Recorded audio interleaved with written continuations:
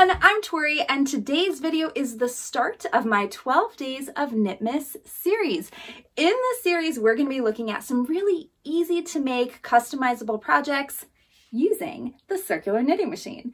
Now, this time of year, it's turned cold, and if you are a person that celebrates gift giving this time of year, you probably have already started thinking, or hopefully you started thinking about what am I gonna get for those special people in my life. Now, gift giving shouldn't be a requirement. You shouldn't feel like you have to just run out and buy something at the store to give your closest friends and family. So making those gifts can really add that personal touch, but it doesn't have to take a lot of your time, but it can still be really super special for all of the different types of people in your life. So today's video, we're gonna start with one of my favorite projects that I actually use on a regular basis, and that's the cup cozy. Now, you may have also heard this called a koozie, a pint cozy, a beer cozy, uh, ice cream cozy. There's so many different terms for this item. Essentially, it's a way to keep your hands cool or your hands warm depending on what you are using. So a couple of examples.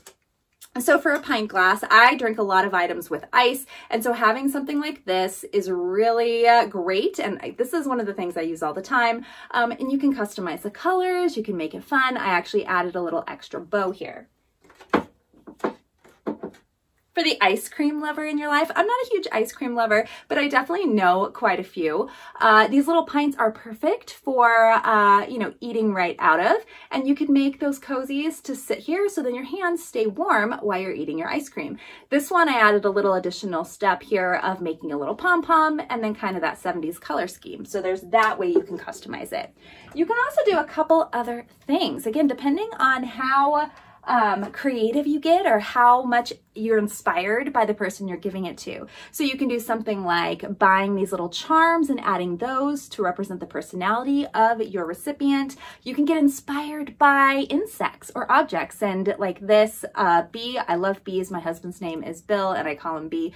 Um, so we have our little bee here with wings. And if you want to get a little more advanced, this is not going to be covered in this video, but you can also do uh, different techniques like creating a little braid on your little cozies. The one that we're going to be looking at today is this style right here. And yes, I have a hot cup of tea right now because our weather here in Spokane, Washington, we just had our first snow. So this is a big inspiration for me to get this series done. So I have my hot cup of tea right here, and then I have this little cozy. And what I like about this style is that you can actually add a button and you can fit it over an actual mug.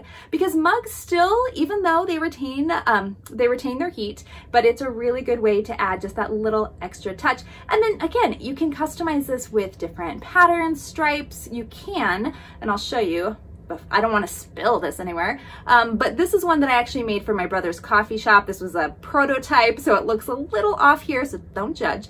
Um, but I did make these for his little shop. And so you can even use iron-on vinyl on these as well. So in our tutorial today, we are actually going to be making this style right here. But then you can use your creativity and you know, recipient as inspiration to really make that a special gift. Now, as I mentioned, I am going to be making 12 of these gift videos. I have a lot of ideas of what I want to show you, but because these videos really are for you, let me know in the comments if there's something specific you want me to walk through step by step to show you how to make for your gifts. Or maybe you just want to give a gift to yourself, and there is nothing wrong with that either. So without further ado, let's go ahead and dive into making our basic cup cozy. And for today's project, we are going to be using the Sentro 22 pin machine. So this machine is really great. It works up really quickly because the project um, is going to be a little bit smaller. And so if you have a 22 Sentro or Addi, either of those are going to work for you. We are also going to use this on the tube setting. So we'll be able to use that on the tube, which is actually the simplest method. Speaking of simple, we are not using waste yarn. So those of you that are scared of waste yarn or don't use it very often, you don't need it for this project. So that is really great as well. You will, however, need a few other things. So you'll need a needle to cast off a darning needle of some kind. I find that the upturned needle works best on the smaller machine. It's easy to get in there so I don't drop any of those loops. You'll also, of course, need a pair of scissors. You will need a, another needle of some kind to attach the button. Um, so with that in mind, we also need a button of some kind. I really like these. I got these on Amazon in a pack. Um, in fact, I have the link to my Amazon affiliate store uh, down below all of the tools that I use are there. These little buttons right here, you can paint them um, or I like to leave them natural. And you do want that needle that can fit through like that. Um, or if you don't have this type of uh, needle here, you can even just use a regular needle with thread instead of yarn. It's a different look, but it certainly will work. Now, speaking of yarn, we do also want some yarn. I'm going to be using this Big Twist Reverb yarn. It's 100% premium ac acrylic. It is pretty fantastic. Um, I have actually used it with my bigger machine and I did not have any problems with it getting stuck. It is a four um, medium gauge, which is really great. And I do love the way that the colors present themselves. So we'll see. I've only made a beanie out of this um, exact fabric here. So we'll see how it presents itself on the smaller project. But I think for the person I'm making this gift for, um, I think that these colors are going to be perfect. And then the last tool that you will need, and I know this is a little more advanced if you don't crochet, but you will need a crochet hook of some kind, or you don't actually need a crochet hook. You could um, just use the yarn around. And what I'm talking about is on this part of the project right here, I typically crochet just to give it a little bit of a cooler look, but we could also, if you don't have um, a crochet hook, you could just add additional pieces of yarn and braid it as well. So there's other options that you have um, to make this little loop here. So those are the tools that we will need to get started with the project. All right, now for this, like I mentioned, we are not using waste yarn. So we are just going to cast on like we typically do. And because we are going to be using these end yarns um, to crochet that little hoop there, or the hoop, the loop, um, you do want to leave a little bit of a tail. And I just kind of eyeball it. I think it's about, two, um, you know, 24 inches or so and then we're going to cast on. Now I'm not going to go in too much detail about this. If you need additional assistance with casting on, let me know, but there are a ton of videos out there. So with the 22 machine, we're going to start under our black pin, and then we're just going to go around each of our pins.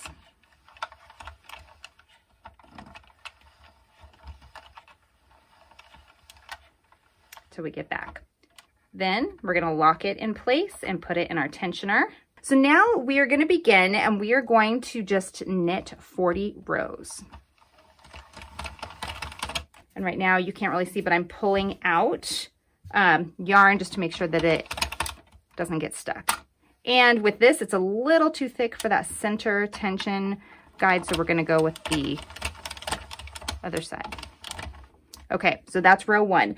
Also, if you're using a Sentro 22 pin or an Addi, well, I don't know if the Addi has this, but this one does not. It does not have a counter. So you need to either focus on this project and don't lose count, write down where you are with your rows, um, or use some kind of tracker to keep track. I do have a counter, but guess where it is? On my phone, and my phone's up here. So we're just going to go through 40 rows and keep those in my head um, until we get to the end.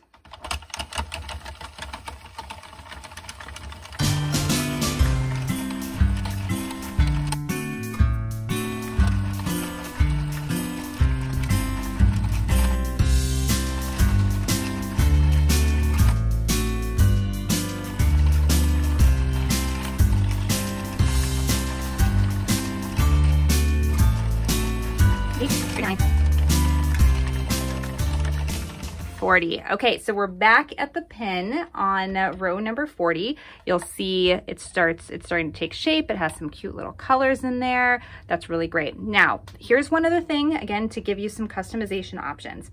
If for some reason you, let's say you don't have a crochet hook, you don't have a button, and you just want to connect both sides, you certainly can do that. And that is in fact how for example, I made this one right here. Um, I did add a little pom-pom, but you can see here that I just attached those two sides there. Um, you can do that, absolutely. But keep in mind, if you do that, it's gonna be a lot smaller. And so where it might fit on like a little to-go cup like this, it may not fit on a mug. So depending on the person that you are creating for, what you envision them to use it for, um, is gonna help you decide how big you wanna make it. So with this, we're at 40 and that's what I typically do. Um, feel free to make it a little bit bigger. If you wanna add like 10 more rows, like I said, if you aren't using a button to give it a little bit of biggerness, biggerness, a little bit bigger uh, circumference, by all means, you can do that. But we're gonna stick with this 40 right here because once we take it off, it is going to stretch. And this really is just for like a to-go cup for um, tea. So now that we are at our 40, mark. In fact, how thick is this? Yeah, oh, look, it's so, it's such a great fuzzy fabric. I like this. Um, okay, so we're gonna take off enough um, and to cast off using the yarn, a big tip is just put it around your machine. You know you need at least that much right? So we need at least this much, but because I'm also gonna crochet and finish it, I am gonna take probably another foot as well and cut that off.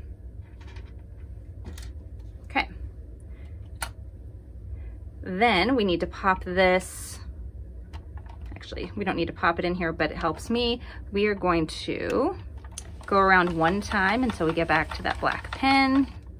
Make sure all those are under. Okay, here we are. Ooh, and see how that just dropped off? We need to make sure, be very careful when you come back, because if that drops off, you're gonna get some drop stitches. There we go, we caught that loop, thank you. And then use your finger to hold the loop to the left so that it doesn't pop off. Um, there's nothing worse than spending time working on this and having them pop off.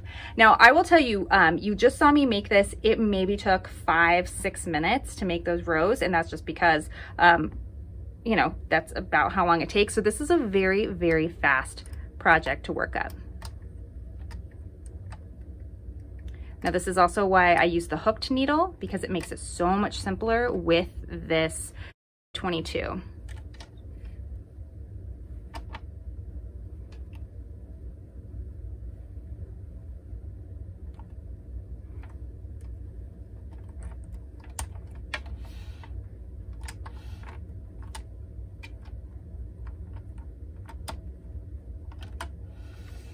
And I know some people do this, ooh, and I just dropped one, come on.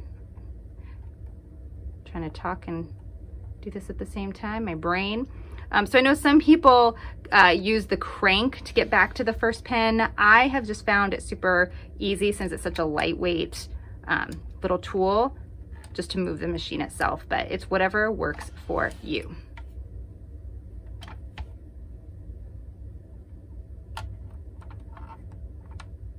Okay. Now I do need to crank the machine here just to get these last couple of loops out. There we go.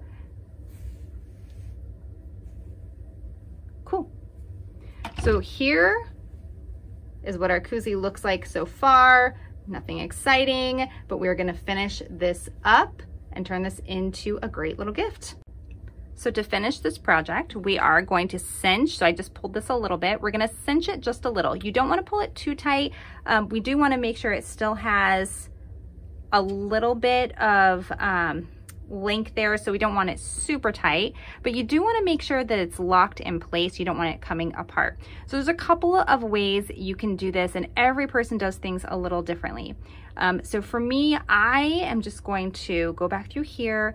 I like to do the mattress stitch style, one side to the other, um, but this, it's really up to personal preference. Just make sure that you get the top two loops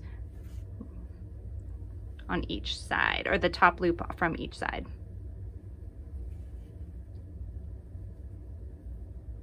So I'm just going back and forth and making sure I get that top loop and then that top loop.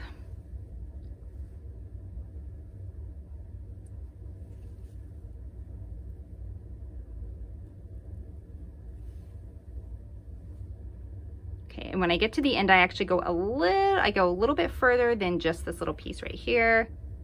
And there we go. So that is pretty good. Now it's again up to you whether you want to knot this or not. I do recommend tying it in a knot. Um, obviously knots are not pretty, but you can kind of hide this in the project. And knotting it'll just make sure it does not come undone. There we go. Excellent. So that side's done and we're gonna do the same thing to our other side. So here we go, wiggly wiggly. Usually if we were making any other project, we would have used waste yarn so that we didn't have this ugly wiggle here, but because it's a cinch, look at this. So pretty, so fast. It's one of the only times I don't use waste yarn. Okay, good. Just making sure I did not miss a little loop there. And we just want this to be about the same size. Again, we're just eyeballing it here. This is meant to be a fast make.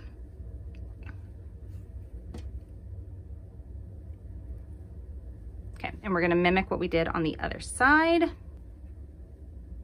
It's coming through.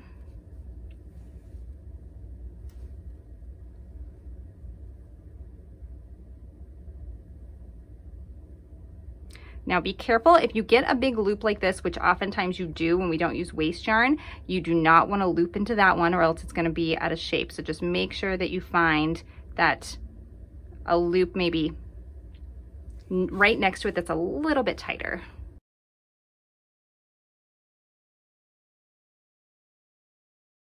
Wonderful. Okay, so that part is now complete. We have our tube, we have our two sides all ready to go. Now we do want to test this, so let's grab let's grab our pint glass because that's a little bit bigger than the travel. Pop that down. And so for a pint glass, you'll find that this knit stretches a lot. So if you wanted to just, as I mentioned before, if you don't have a button, you could take this same yarn right here and on the inside um, you could do the same mattress stitch here and then flip it over and it'll be completely that seam will be pretty um, hidden and then you can even if you wanted to you know wrap yarn around it a few times just to finish it off so that is one way but we are going to add our little crochet just to add the button. So you'll pick your side, whichever side you want to use um, for the crochet.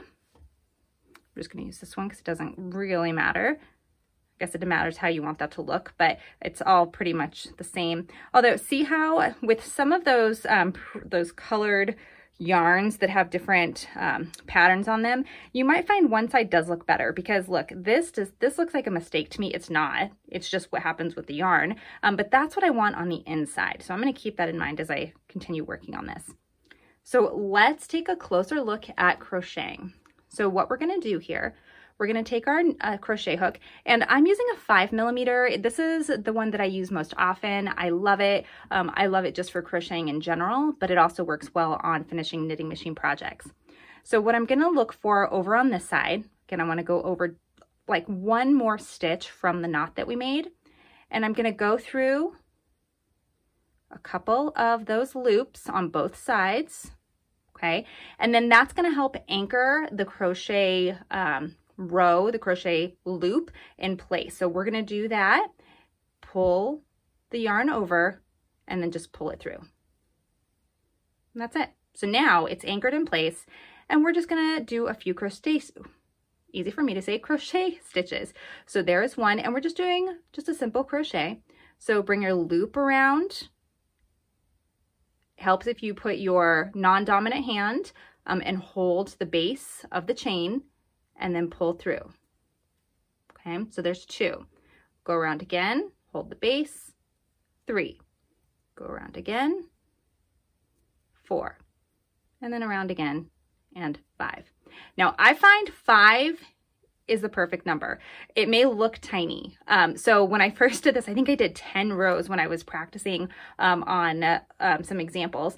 And uh, 10 just makes it too loose and it falls off. So you, remember, this is knit. This is knit. So it is going to stretch. So we're just going to do five for this project here. And then just like we did on the other side, we're going to find a loop that's pretty far on the outside. We want this to be on the outside. Okay, so let me do that again. So you're gonna take your needle, put it through the loop, yarn around, okay? And then we're actually gonna do a slip stitch here, just like that. Lastly, you're gonna take that same yarn, pull it through, and then just keep pulling, and that's gonna make a knot. So now we have our little crochet loop right here, and then we're gonna attach the button. Now, don't worry about this. This is just hanging out, but we're actually gonna end up putting this into, or weaving this, hiding it. We're gonna hide it in between the layers because remember, this is two layers, which works really well for hiding those yarns. But we're not gonna do that just yet. Um, what I have found just from making so many different projects is sometimes I will weave in the yarn or I'll cut it off um, and then I'll realize, oh, it would have been helpful to have. So I'm going to leave it there. Probably won't need it, but it's just something that I'm teaching myself to do. So now remember, we want to find that side that we want is the outside. And so we want this to be the inside. Excellent. So this is our inside. And then we're going to put the button on this side. So now we're going to use that long piece of yarn from that side. So we'll take our button, kind of figure out where you want it. Make sure that you do bring it in. If you put it here, you're, it's going to, again, stretch and it's not going to work the way you want it to. So you definitely want to bring it in to about here. I know it looks odd, but this is a great place to anchor it. And we're going to grab this needle right here. Um, I would prefer um, um, a needle that has a dull end, but I don't have one, um, surprisingly, that's not skinny enough to fit through the button. So I have to use this one. And I'm gonna use my little tool here to pull that through my needle. There we go. And of course now it wants to stick because it's super fuzzy. Okay. Now, when we attach a button, what we're gonna do first, okay, so we know where we want it. We don't want this to be this yarn to just go across, right? If you go across, you're gonna see just one single yarn and it's not gonna look good. So we're actually gonna put this yarn through between the two layers. So you can't see it on this side. It's not coming through and it's not visible here. We're just gonna go up to that button. In fact, you could go up to the button and through that first hole. And then you're just gonna give it a little tug. Don't pull too hard because if you pull too hard, it's gonna pull this corner in. So now we have our first piece through. Now I do stitch through both layers just to help prevent the button from falling off because we're using yarn. So I do a crisscross pattern, which I also think is super cute. Okay, so we just did one and then come up from the bottom pull it all the way through. Want to do want to pull it taut. This isn't like putting on a button for clothing. When you use um, buttons on clothing, you definitely want to have a sh shank, shacket. What is the term I'm looking for? You definitely want to make sure there's enough space because you'll be unbuttoning and buttoning all the time. For this, it's more of a decorative feature. Um, it does have a use, but I'm going to say we don't need to. I haven't had any problems. Okay, back down. And now we have our cute little crisscross. Now, if your button is big enough and if your yarn is not that thick, you may be able to go through maybe one or two more times, which can help with stability.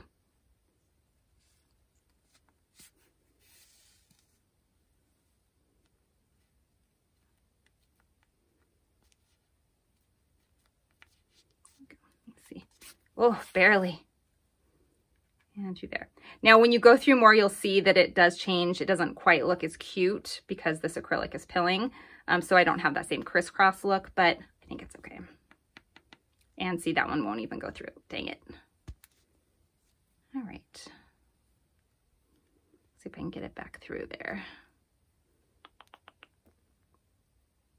That is the problem with working with yarn. Sometimes it gets a little too thick and it won't Ah, there we go. I think I got it. Maybe. Oh, yes. Okay. Whew. Okay, so here, how cute is that? On the back, what we're gonna do is, because this is gonna be on the inside, we are going to tie this off. So we're gonna take our needle and we're gonna pull through the layers. So essentially you're gonna go through all those layers.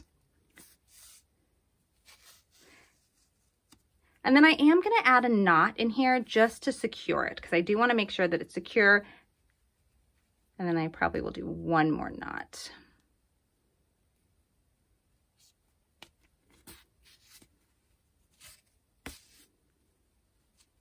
There we go, excellent.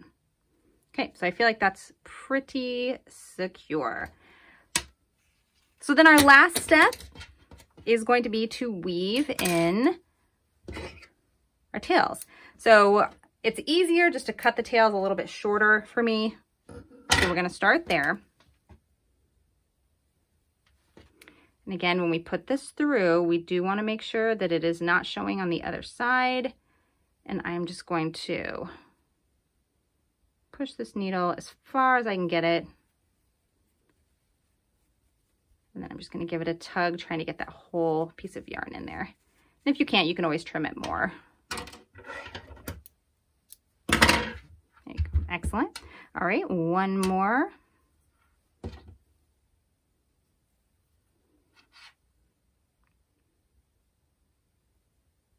Now with this one, you'll notice I'm actually going through that place that we tied off before.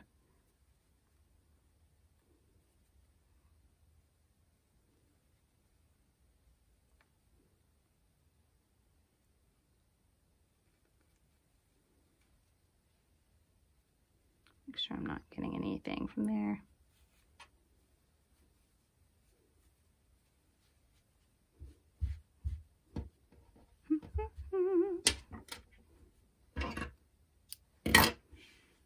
Come on, get in there, get in. There we go. Excellent. Okay, so now we have our little button and here is our adorable little cozy. Show you how it looks on this pint glass. So here we have it on our pint glass. I mean, it's so cute. But also little coffee seeds in there. Always make a great visual. On our to-go mug, it has its own little winter sweater. Keeps your hands warm, or keep your hands cool, right? Or, again, for the ice cream lover in your life, they have their own little ice cream cozy. Thank you so much for joining me for the first day of the 12 Days of Knitmas. I will add this video to the 12 Days of Knitmas playlist as well as the other videos as they come out. If there's another project you'd like to see, don't forget to pop that down below in the comments. I also have the link to my Amazon storefront down below um, if you're looking for certain tools that I use. And if you have any questions, do not hesitate to reach out. So that's it, everybody. Until next time, see ya!